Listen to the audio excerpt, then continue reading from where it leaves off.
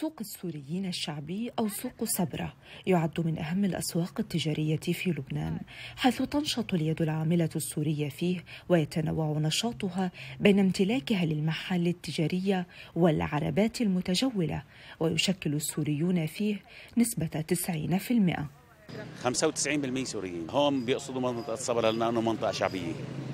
سوريين محلاتهم أكثريتها سوريين وشعبية وبيقصدوا العالم مناطق من مناطق من من جبيل ومن هون من جميع أنحاء بيروت بيقصدوها منطقة رخيصة وكلها بتلاقيها من جميع رخيصه وبتلاقي يعني كل شيء رخيص بنص حقه وربع حقه ثلاث أرباع يعني كل شيء بنص حقه يعني. شو من قصد أبو الفقير وأبو الغني وأبو الكل يعني ثلاث أرباع العالم كلها هيك تجي على صبرا تقصد صبرا كلها.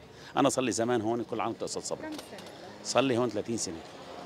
عرفت علي؟ وكل العالم ترقد على صبرا ليكي؟ من خضرة من فواكه من ألبسة من جميع ما تشتهي وتريدي. حتى الأحذية حتى شو ما بدك موجود يعني كله بتلاقيه بنص حقه. والعالم كلها بترقد على صبرها الأسعار المدروسة والتنافسية في هذا السوق جعلت منه مقصدا للناس من جميع المناطق اللبنانية القاصية والدانية منه.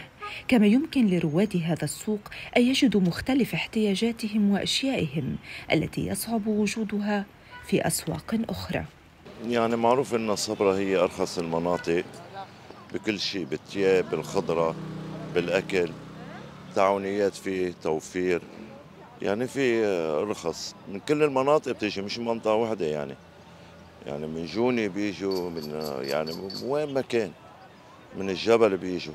إيه أكيد أسعاره أرخص من غيره بكثير يعني بتلاقي كمان أسعار بضاعه تحت منيحة وإنه إذا بتقارنيها بغير محل مثلا إذا رحتي على سبينس كارفور يعني ما في نسبة. فأكيد بتلاقي يعني رخيص ولا أغلى شوي.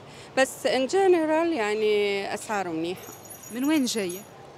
أنا من مار الياس. يمتاز هذا السوق بموقعه الجغرافي الذي يبعد عن الوسط التجاري لبيروت قرابة أربعة كيلومترات ولا يقتصر نشاط هذا السوق على البيع بالمفرق بل يتعدى ذلك إلى البيع بالجملة لتجار يقصدونه من كل حدب وصوب. يعد سوق صبر الشعبي من أقوى الأسواق التجارية في بيروت ويشهد إقبالا كثيفا من قبل الناس لتميزه بأسعاره التنافسية. من بيروت مايا هاشم. televisão Suriye.